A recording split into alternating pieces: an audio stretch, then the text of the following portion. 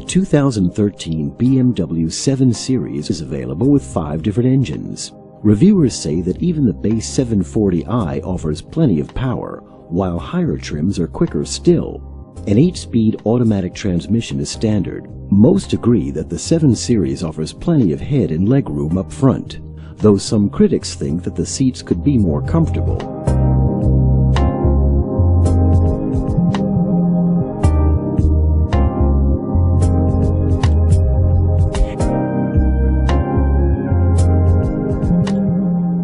For 2013, BMW has updated its iDrive infotainment system, which controls many audio, navigation, and vehicle settings.